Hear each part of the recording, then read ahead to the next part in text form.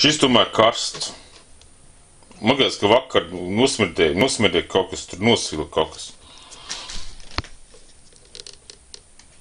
Un kaut kas nos... Ne, es nezinu, kas nosvila. Bet, nu, kaut kas caursists un tam līdzīgi. Un riktīgi, riktīgi. Šitas ir. Un tas tāds bišķi silts ir. Ši, un šis ir tik silts ir. Tas šis tik, tik silts ir. Un šitas var teikt, man ir nosprāp. Otrs variants ir paņemt, pielikt viņam impulsīvu barošanu bloku.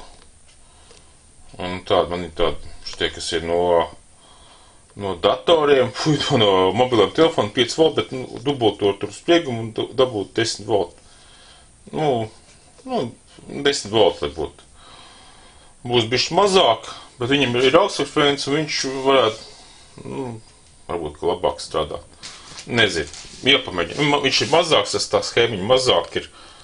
Un, un, un jāpamēģina. Šito izņemšu ārā, šito izņemšu ārā. Ieliks impulsu barošanu bloku. Vai arī visas jānahrinzē un, un ielikt normāls liels trafiks, normāls liels žators, un man tāds ir tāda, uh, nu, divreiz 5,5 vata tembra bloku. Uzreiz mikro, nu, tik, tik liela, apmēram, nu, bet, nu, pārtaisīt vienkārši visu sistēmu un uztaisīt norma, normālu. Normāli 5, pie, nu, var teikt, 6,6 vatu pasnātā. Šis tagad ir mm, 2,3 uz 2,3 vatu. 2, nu, 2,3. Šis magas tik tiešām 15 vati ir. Un viņš nav izturējis to visu laiku to 12 voltu slodzi, kas nāk skaļam. Nu, vispār tā.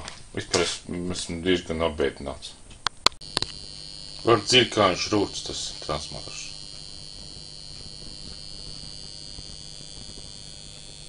Var dzirdēt. Un viņš nerūc. Kā? Tā, patērē 2 vatus un power faktoru 0,29. Es domāju, ka vairāk patērēs.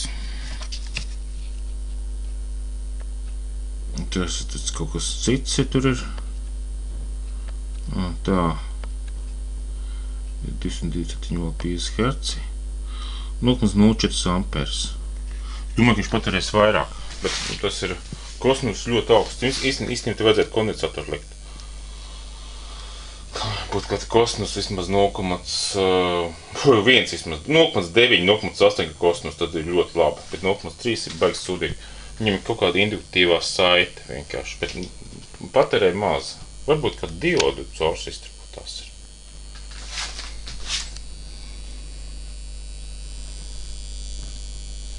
Mm, Vajadzētu atlodēt un redzētu. Pagaidiet, jā, jā, jāpacās, cik spriegums tur ir vispār. Nu, nostrādāšu transformators divas nedēļas. Nē, tikai divas nedēļas. Nepārtraukt pie, tā, pie, pie tīkla bija pieslēgts nepārtraukt. Neatslēdzot.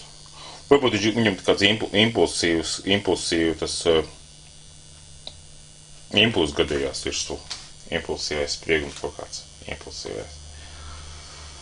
Un tāpēc viņš varbūt tas kaut kas. Es domāju, ka viņam Fuko parādījās kaut kāds. Viņš uz Fuko parādījās viņam kaut kādas vibrācijas. Un tāpēc viņš sāk silt un sāk vibrēt. Un, un tas ir jāizdara ārā. Jānolaka tas dzels, nu viņš vai papīrs kaut kāds jāieliek iekšā pa jaunu un mēģina pa, pārlikt vienkārši uh, izvēlēties no Fuko. Vai arī te, nu, tev kaut kur kontakti, jā, jā, rūs kaut kāda varbūt ir, jā.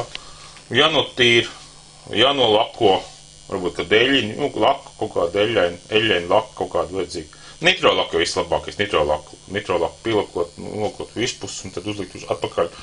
Un tad viņš būtu tas uh, neskanēt. Un, un tad viņš arī, nu, bet, nu, īstenībā, nu, viņš sāks, pirms tam, kad es pārbaudu, viņam bija tas power factor, tas kosmos pi bija kaut kur 0,7, tagad 0,3 vienkārši. Nu, nu, tomēr, tomēr kaut ar to vibrāciju, kas ir tas kosmos uh, uh, izmainījās. Noteikti, kad uh, impulsīvā jauda būtu lielāka. Kaut kāda impulsīva jauda, kas tur ir.